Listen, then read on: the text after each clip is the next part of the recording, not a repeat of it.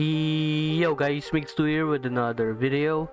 So, gagawa ulit ako ng uh, beginner's tier list about dito sa mga characters na to, which is yung uh, base form ng mga SSR Plus. At hindi to kasali yung mga rare na SSR Plus. Mga SSR lang ito, which is ito, ito, si Jin, Sajin, si Tosen, si Mayuri, si Joshiro, yan, si Soifan.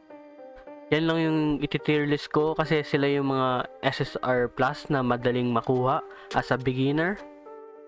Uh, saka na lang tayo dun sa mga rare SSR Plus which are uh, sila ano Shion Shion ba to?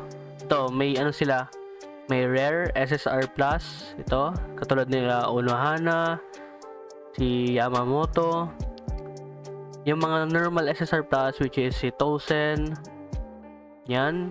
Uh, sila ano Kampa, Kempachi rare lang din sila. So ito lang yung mga characters na iti-tier list ko yung mga normal na walang rare nakatabi so let's go. Okay ito na yung tier list natin which is yung 7 characters. Normal characters base form nila, wala pa yung bangkay, ibang usapan na yon ibang tier list na yon pag nasa bangkay form nila. Dito lang tayo sa base form nila, walang rare SSR plus, normal SSR plus lang tayo, yung mga pang beginners SSR plus, yung pwede mo ma-select. Dun sa parang orb, pag nagpo-pull kayo, tapos may automatic na uh, ah, SSR plus ka na pwedeng piliin. Yun lang yung mga characters na to So let's go. Uh, but first pala, uh, may B tier. Parang walang B tier naman dito sa 7 na to. A tier, S tier, saka SS tier. So, yung S tier, ay, ano ko na muna dito sa A tier. A tier, um, maganda yung ano niya, decent naman yung mga characters dito sa A tier. Pero parang may, uh, parang hindi sila masyadong uh, strong dun sa meta ngayon. Oo, may meta na kahit hindi pa nagpo-first week yung game. S tier, ito na yung mga meta. Uh, ito na yung malalakas na character. SS tier naman, ito yung uh, tier na must-have na character. Lahat ng resources, pwede mong ibuhos sa kanya na uh, sulit talaga worth it pag binuhos mo lahat ng resources sa kanya. Mas maganda pag na 4 star, 5 star mo agad siya para uh, ma uh, may advantage ka talaga sa game. Malakas yung uh, tier na SS tier sa PBE, PvP, overall. S tier, mga meta na talaga yan. A tier, decent, pero parang para sa akin hindi nyo pwede ilagay yung resources nyo talagang uh, ibuhos lahat. Pwede nyo naman ano, uh, i-upgrade lang para may characters kayo na magamit din sa for example dun sa isang event na pag namatay yung isang character, di mo na pwedeng ituloy gamitin. Pwede din kayo mag-build ng mga pang 7, 6 man team nyo or 6 man characters nyo. So ito yung mga characters na to. Pang reserve, A tier. B tier naman, malakas to, ay maganda naman na characters to pero para sa akin parang wag nyo naman isobra yung resources na ibuhos sa kanila. Parang balance lang, pang ano lang upgrade dun sa mga ibang stats like dun sa book where kung na level 30 mo yung uh, parehas na characters may benefit yung character na nasa team mo. So let's go. So first character natin which is si Soifan.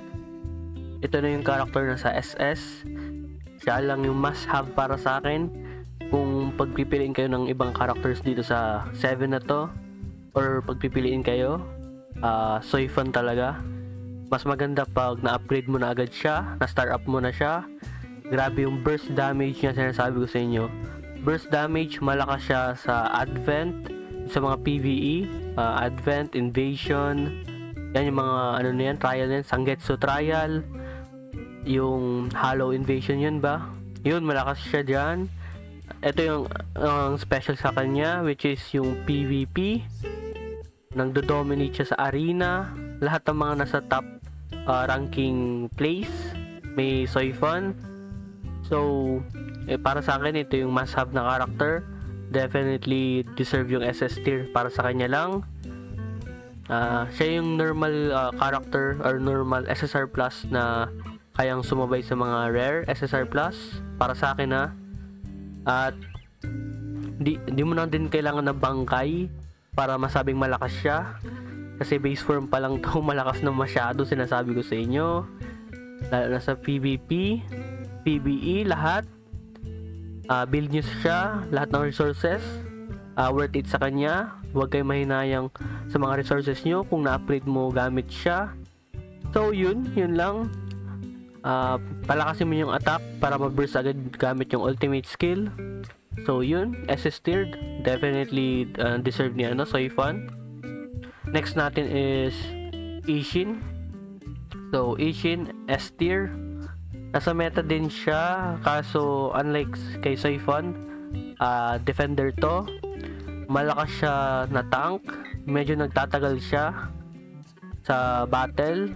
Maganda siya pang uh, i-direct sa kanya yung ano, mga damage ng kalaban.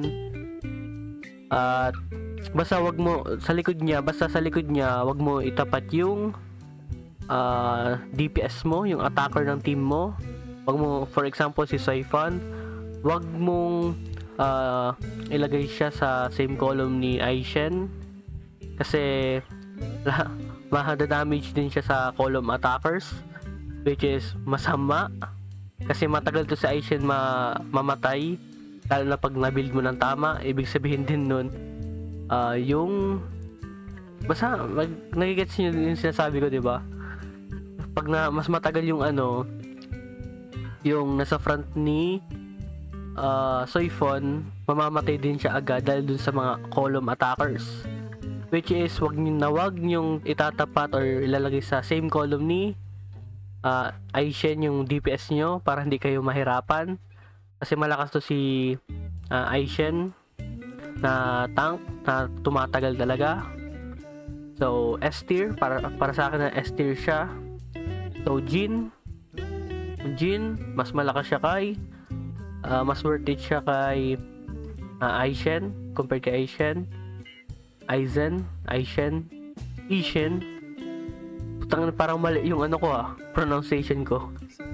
Asian, Asian na Aizen. Ang Aizen kayo yung iba eh. So, balik tayo sa topic. So, tier list, uh, Jin, mas angat kay dito sa tatay ni Kurisaki. sa tatay ni ano, Ichigo. Um, may ano siya na skill which is kung na patay niya yung isang kalaban may ano siya dagdag na uh, defense penetration or uh, pwede siya mag-ignore ng defense ng kalaban which is grabe grabe yung burst damage niya. Column attacker din siya. Lagi mo itapat yung uh, ultimate skill niya dun sa DPS ng kalaban para worth it yung uh, damage yung uh, skill points dun sa ultimate skill niya. Uh, burst din siya which is ito yung meta ngayon mga burst. Next natin is si Sajin. So Sajin, mas malakas na tank uh, kesa kay dito sa tatay ni Ichigo.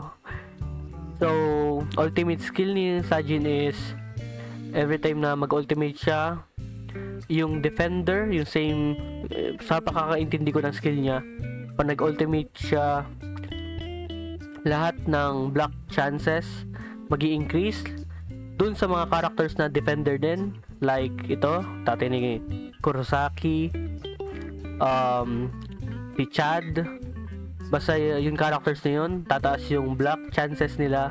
Pag nag ultimate skill si Sajin? Which is maganda lalo na pag tatlo yung uh, front na defender mo mga tank. Next natin si Toyzen. So dito si Toyzen um, malakas. Uh, back row ang ano niya eh back row um, ultimate skill damage skill burst.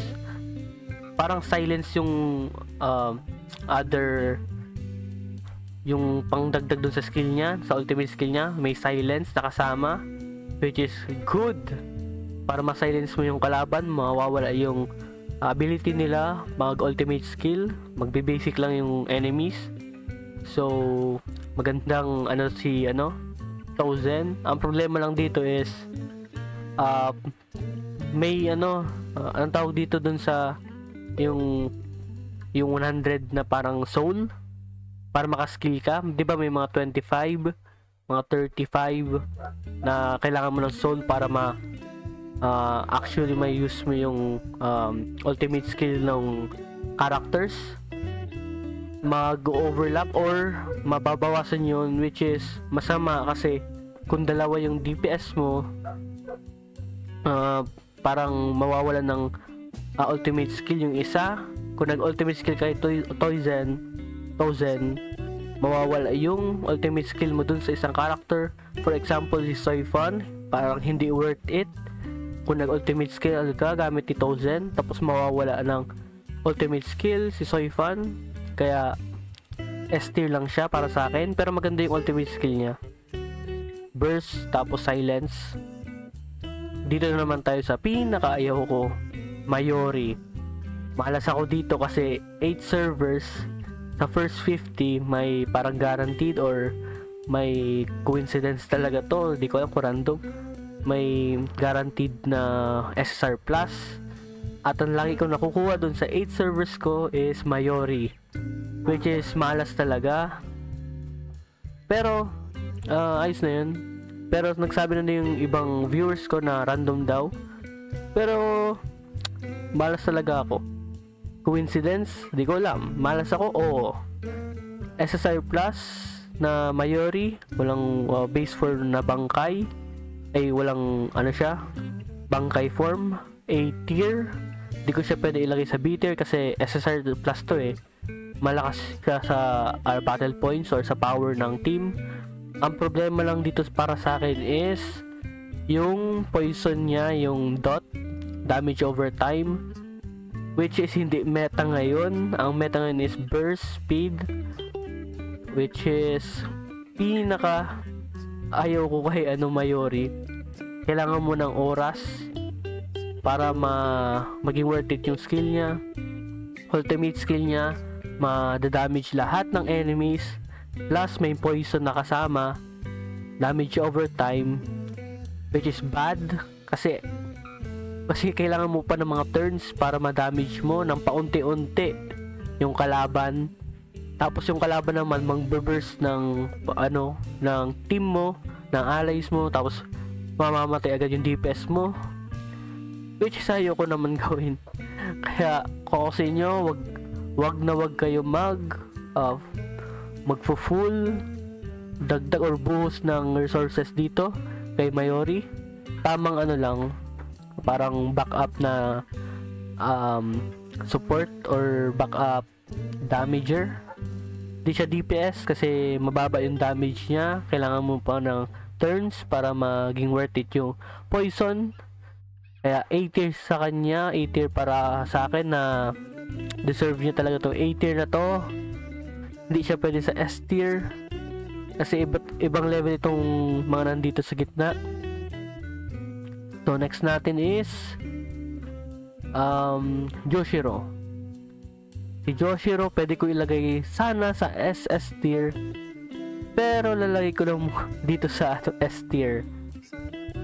Um, same din ng sinabi ko na reason kung bakit sa sobrang dami ng characters mo sa ano um sa isang team six ano six characters sa isang team every turn dalawa or isa lang ang pwede mag uh, ultimate skill which is uh, bad para sa akin ang daming witch na sinasabi ko witch witch witch and basta S tier lang siya para sa akin gusto ko sana ilagay sa SS tier kasi ito yung nagbuhat sa akin nung wala pa akong Soifan. Tapos, tank din siya na malakas yung damage. Yung SS niya or yung ultimate skill niya, burst damage din siya. Which is nagto 25k damage. Yung build ko nagto 25k damage. Same as ng damage ni Jin minsan. Nagaangat pa kay Jin tas kay Tozen kaya S tier siya para sa akin. So hanggang dito na lang yung video. Sana magustuhan nyo. Tuloy-tuloy ang ano ko, mga Filipino gaming vids ko. So hanggang dyan na lang. Alis na kayo.